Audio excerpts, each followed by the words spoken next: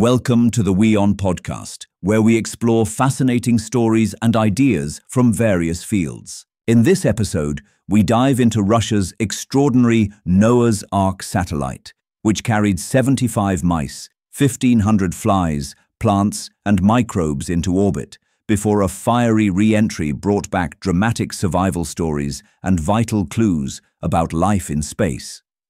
The mission by the Russian space agency Roscosmos carried a biological payload of mice, flies, plants, and microbes atop a Soyuz 2.1B rocket on a 30-day mission on August 20, 2025, to a near-polar orbit at 370 to 380 kilometer altitude, inclination of roughly 97 degrees.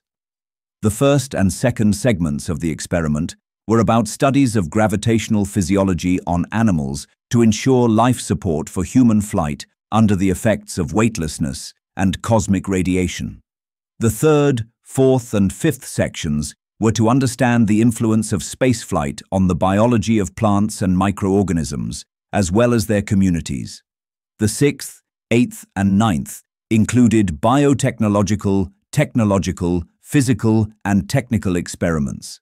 The seventh section was about radiobiological and dosimetric experiments. Bion M NO2 satellite made a fiery landing in Russia's Orenburg steppes on September 19th.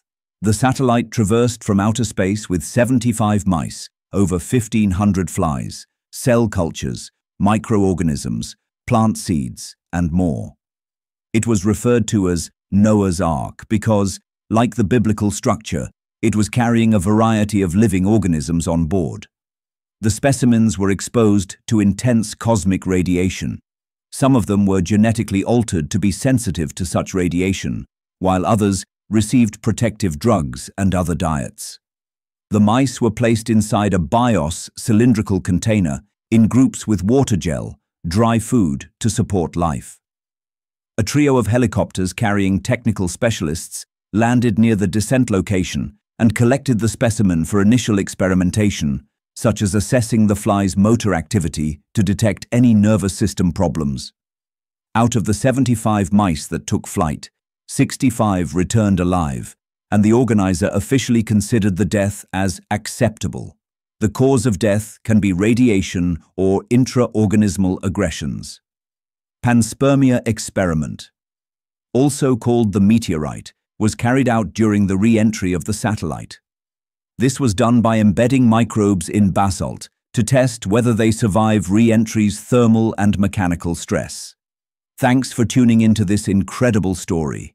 If this episode resonated with you, don't forget to hit the like and subscribe button for more captivating stories to come. Stay tuned.